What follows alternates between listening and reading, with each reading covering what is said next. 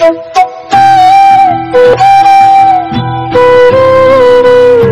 guys good morning welcome to back और अंदर blog I hope आप लोग बढ़िया होंगे स्वस्थ होंगे और मस्त होंगे। तो एवरीबॉडी आज का ब्लॉग मिस मत करना है क्योंकि गाइस आज अभी फ़िलहाल चल रहा है शादी वादी में। तो का ब्लॉग अच्छे से दिखाएँगे। कोई कंफर्म नहीं है शादी में जाए या ना जाए। यही नहीं अभी और सुनिए। क्योंकि शादी है तो हपक के खाएँगे। तो फिर फ़िलहाल अभी सोए थे और सो के उठे। कल बाल कटवाए गए दो दिन से ब्लॉग ही नहीं शूट कर पाए। हमारे इधर लाइट ही ख़राब थी।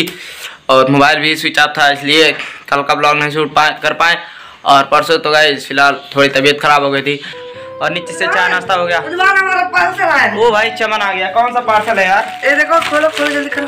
फ्लिपकार्ट वाला है। रुक जाओ तुम अनबॉक्सिंग करो हम पीछे से बैक कैमरा करके दिखाते हैं। तो रुको जरा सबर करो।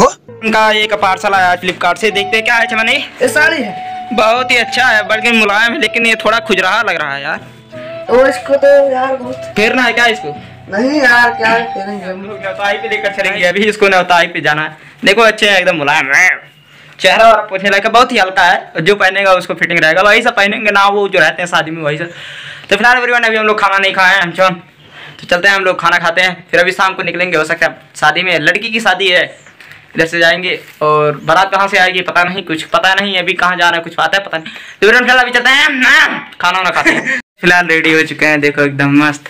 ड्रेस वाइट एंड ब्लैक पहन चुके हैं। अब फ़िलहाल यहाँ से निकलते हैं शादी में। और अपना जो नवतारी वाला सामान था, सब उसको फिक्स करके रख चुके हैं। और एक और पैंट शर्ट सिला किला है, उसको इधर रखें।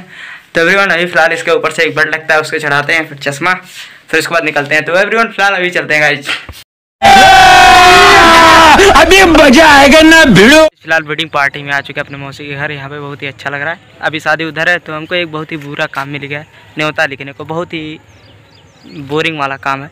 साला ये दुख का खत्म नहीं होता बे? फ़िलहाल गाइस इधर देखो भुट्टे की खेती लगे हैं इधर सब लोडर मशीन इधर खड़े हैं। तुरंत फ़िलहाल भी वहाँ पे चलते हैं। शादी वादी में मज़ा नहीं आएगा क्योंकि वहीं एक जगह बैठे रहो अच्छा ही नहीं लगेगा। तो फ़िलहाल एवरीवन अभी देखो यहाँ पे थोड़ी देर रेस्ट के लिए आए थे। सब लोग उधर बहुत भीड़ है इधर इस मड़ई के उधर। पूरा एकदम। यहाँ सब मशीनें इधर खड़ी हो गई ना, यहाँ शादी है। तो फ़िलहाल एवरीवन अभी वहाँ का नज़ारा आप लोग को दिखाते हैं।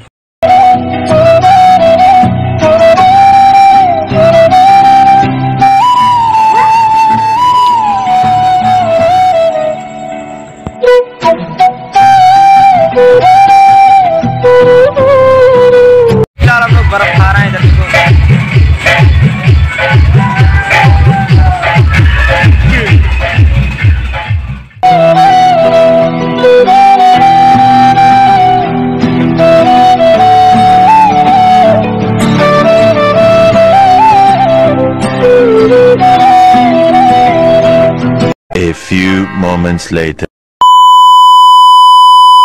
ये गाइस फ़िलहाल शादी वादी कंप्लीट हो चुकी है।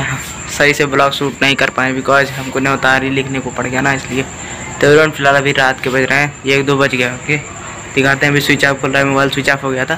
तो एवरीवन फ़िलहाल देखो इधर कन रखे हैं। ये मौसी के घर अपने आए। तो एवरीवन फ़िलहाल अभी चलते हैं सोने वोने, क्योंकि नींद लग रही है। दो बज के नौ मिनट हो गए फ़िलहाल और दो बज के नौ मिनट हो गए रात के। बताओ, काफ़ी ज़्यादा नाइट हो चुकी है सोए नहीं तो हम लोग चलते हैं, सोते हैं गाइस